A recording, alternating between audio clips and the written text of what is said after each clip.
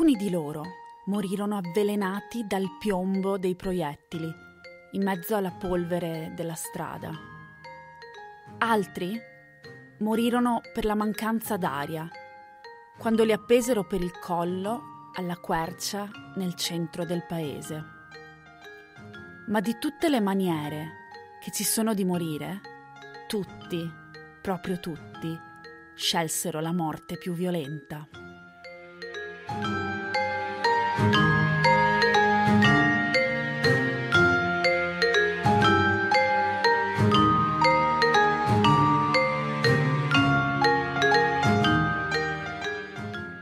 Questo è Camposanto, il podcast dedicato a chi ama i cimiteri. Io mi chiamo Giulia De Pentor e adoro leggere le storie scritte sulle lapidi, osservare le fotografie sbiadite dal tempo, immaginare le vite degli abitanti di queste immense città ultraterrene. In questo podcast vi accompagnerò alla scoperta dei cimiteri che più mi hanno colpito, raccontandoveli attraverso i miei occhi e le mie sensazioni.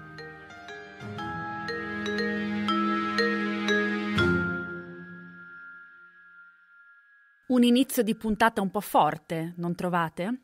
Colt e impiccagioni. Forse questo vi farà venire in mente i film di Sergio Leone, con i pistoleri che si affrontano e si uccidono a sangue freddo nella strada polverosa davanti al saloon, sotto l'implacabile sole del deserto del Far West. E ancora, quei manifestini così famosi con la foto sgranata del bandito e l'inequivocabile scritta Wanted, ricercato. Se è questo quello a cui state pensando, bravi. Vedo che dopo due puntate di Camposanto ormai siamo sulla stessa lunghezza d'onda. I versi che vi ho citato all'inizio provengono da una ballata molto in voga durante i tempi della corsa all'oro negli Stati Uniti d'America. Ed è in America che andremo oggi, più precisamente in California e ancora più precisamente a est della Sierra Nevada e a pochi chilometri dalla Valle della Morte vi porterò alla scoperta di un cimitero abbandonato, o meglio di una boot hill, letteralmente una collina degli stivali, che nel gergo dei fuorilegge del Far West indica il luogo in cui venivano sepolti spietati pistoleri e loschi malviventi, morti con gli stivali addosso, non serenamente nel proprio letto, bensì in modo estremamente violento, avvelenati dal piombo dei proiettili e soffocati dal cappio delle forche, come dice la canzone.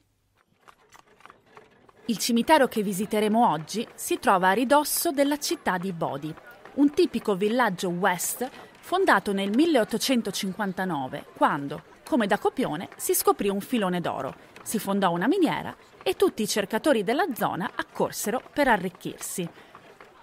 La cittadina conobbe un vero e proprio boom nel corso del biennio 1878-79.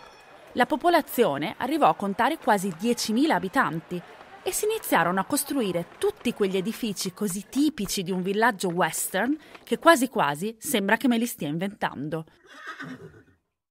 A Bodi, in quegli anni, c'era la Wells Fargo Bank, la banca centrale, puntualmente rapinata da malviventi senza scrupoli, sulla cui testa pendeva perennemente una taglia. C'erano la caserma dei pompieri, la sede dell'Unione dei Minatori, nella quale venivano organizzate feste il cui livello alcolico portava spesso e volentieri a liti e scazzottate, e a volte anche peggio. C'erano la banda cittadina e la stazione dei treni. C'era addirittura una Chinatown con un tempio taoista. C'erano diverse scuole, uno studio medico, il giornale cittadino, la chiesa, numerosi empori e drogherie, alberghi e locande, negozi di alimentari e ferramenta e poi, naturalmente, c'erano tante case più o meno grandi, con il loro portico di legno per godersi la brezza serale, masticando tabacco e bevendo un bel bicchiere di vernice per bare, che per chi se lo stesse chiedendo era una specie di whisky grezzo. Bello, no? Vi sembra che mi stia dimenticando qualcosa? Avete ragione, cari miei. Il fatto è che mi sono voluta tenere il meglio per la fine. Abbiamo parlato di violenza, sangue e vite dissolute, no? Mi sto sfregando le mani da sola al solo pensiero di quello che già so e che sto per dirvi. Pronti? A Bodi, alla fine del XIX secolo, ci sono anche una rivendita di oppio, un quartiere a luci rosse, più di 60 saloon e di conseguenza l'ufficio dello sceriffo, con prigione annessa, una grossa impresa di pompe funebri, le cui bare esposte in vetrina ancora si possono ammirare, un obitorio e naturalmente il nostro spartano cimitero. Del resto, sappiamo come vanno le cose quando gira alcol forte tra personaggi di non proprio specchiata virtù.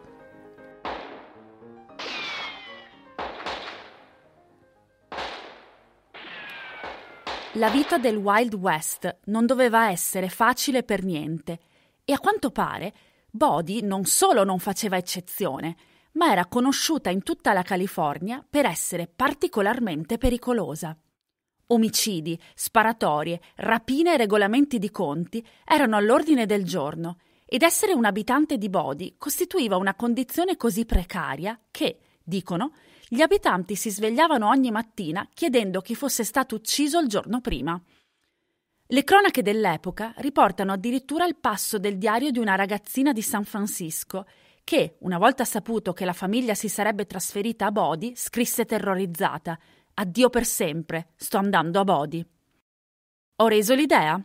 Siete entrati nell'atmosfera di questo episodio. Bene, amici miei, rimanete qui con me e indossate i vostri stivali migliori Stiamo per fare una bella passeggiata nella Main Street di Bodi. Siamo alla fine del XIX secolo, dicevamo prima. Bodi è al massimo del suo fulgore, ma la miniera d'oro viene progressivamente abbandonata. Certo, c'è ancora qualcosina da estrarre, ma ai minatori giungono notizie di mirabolanti ritrovamenti nelle miniere dell'Arizona, dello Utah e del Montana, molto più succulente di quelle californiane. La miniera di Bodi, quindi, chiude. La ferrovia viene abbandonata e la città diventa sempre più isolata, entrando in una fase di lungo e inesorabile declino che spinge gli ultimi residenti ad andarsene definitivamente negli anni 60 del Novecento.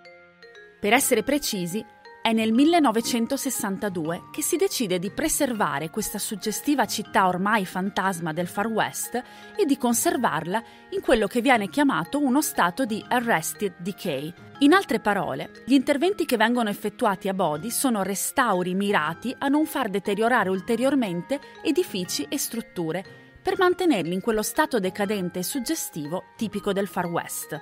Il risultato di questo intervento? Bodi è congelata nel tempo e si mostra come una città fantasma in perenne declino, ma alla fine rimane sempre così com'è, con le sue strade polverose spazzate dal vento del deserto e gli edifici di legno sbilenchi. Spiando attraverso i vetri del saloon, ho visto seggiole rovesciate attorno ai tavoli, bottiglie mezze piene, pianoforti scordati e specchi bucherellati da proiettili, un tavolo da biliardo con le stecche pronte per l'uso Mancavano solo i pistoleri con gli stivali sopra il tavolo e le fallen women, le donne decadute, che si appoggiano languide sulle spalle dei giocatori di poker. La scuola del paese mostra ancora file di banchi e lavagne scarabocchiate e manca solo il suono della campana della maestra che richiama i bambini dopo la ricreazione. La state sentendo anche voi?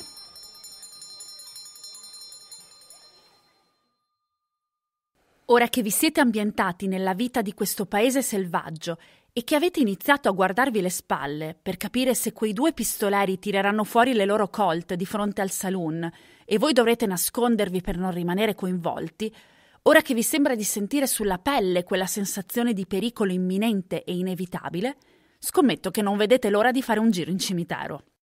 Prima di incominciare la nostra passeggiata, però, ho una domanda. Quale cimitero volete visitare? Ebbene sì, ce n'è più di uno, o meglio, il cimitero è sempre lo stesso, però è diviso in varie sezioni e si trova in cima a una collina dalla quale si domina tutto il paese. Sono state contate più di 200 sepolture, anche se molte di esse non hanno una lapide, oppure se la lapide c'è è illeggibile oppure è stata danneggiata da intemperie e vandali. Vi ho già detto che vivere a Bodi non era facile. Non vi ho detto però che non si moriva solo con una rivoltellata in testa o appesi alla forca. In una città come questa, torrida d'estate e gelida d'inverno, si moriva giovani di polmonite o difterite. Tanti bambini non superavano l'anno d'età, si moriva di parto Si moriva soprattutto per incidenti nella miniera. Esistenze precarie, a prescindere da tutto. E anche dopo la morte, spesso la pace non arrivava subito. Dato che era la cittadinanza stessa a decidere quale reparto del cimitero si meritasse il defunto, si venivano a creare delle faide tra i parenti dei morti che volevano far seppellire il proprio caro nella parte rispettabile, dove riposavano i notabili della città. Spesso queste faide avevano esiti drammatici e alla fine, invece di un morto solo da seppellire, ce n'erano tre. Seguitemi ora. L'erba è alta e secca e le lapidi storte si vedono appena.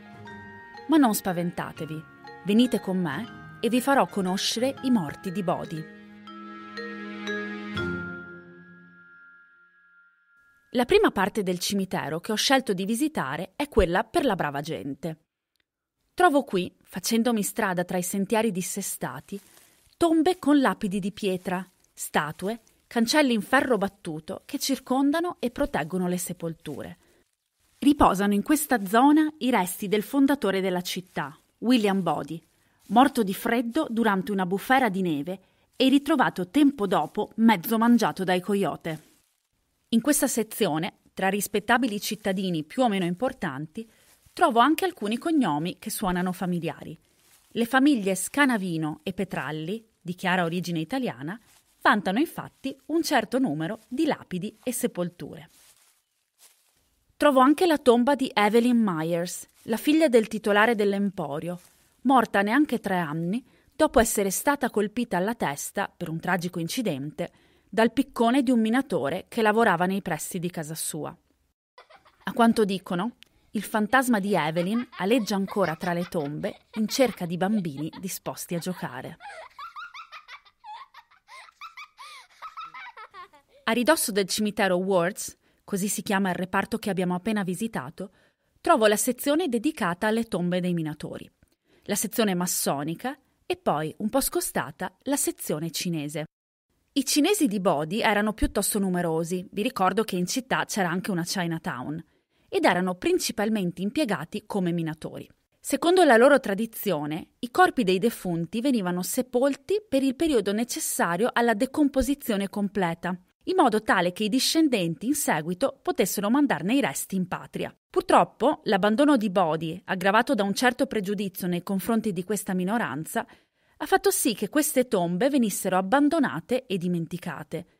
Non si conosce il numero preciso dei defunti di origine cinese, poiché nessuna tomba è provvista di lapide.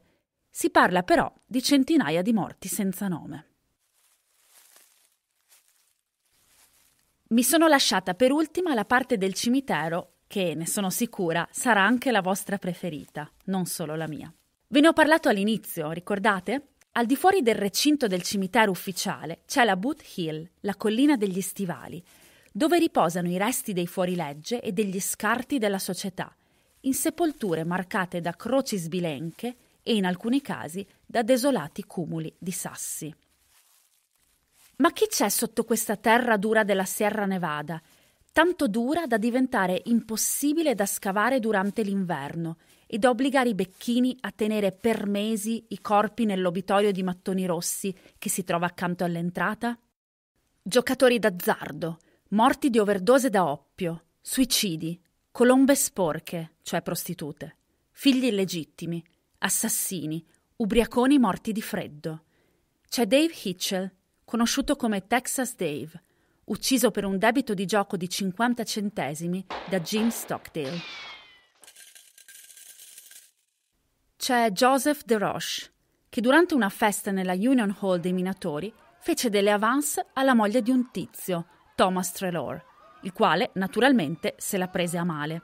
I due litigarono, DeRoche aspettò il rivale fuori dalla festa per sparargli e ucciderlo, e poi fuggì venne catturato da un gruppo di cittadini che lo portò nella prigione dello sceriffo e poi decise di impiccarlo a un albero.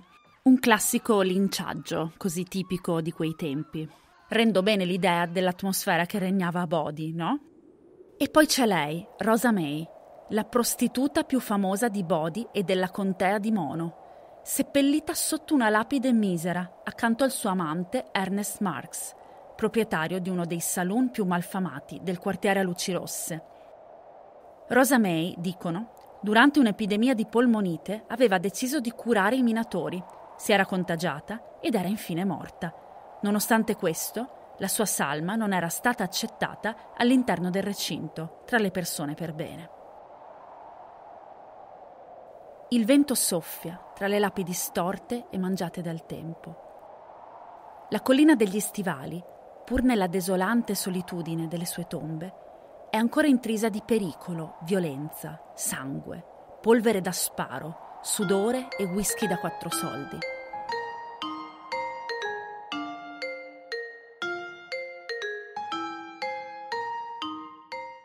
Nel 1881 un certo reverendo Warrington disse che Bodhi era come un mare di peccato sferzato da una tempesta di lussuria e passione. Non riuscirai a trovare parole migliori per descrivere l'atmosfera che respiro in cima a questa collina.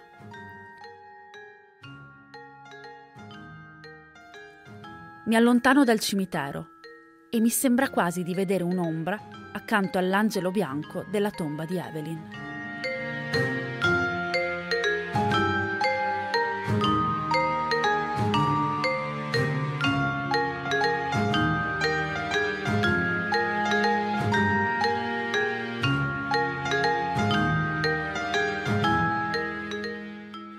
Avete ascoltato Camposanto, un podcast scritto, prodotto e condotto da me, Giulia De Pentor. Vi ricordo che nel sito camposantopodcast.com troverete le foto e tante altre informazioni sul cimitero di Bodi. Noi ci sentiamo la prossima settimana. Ciao!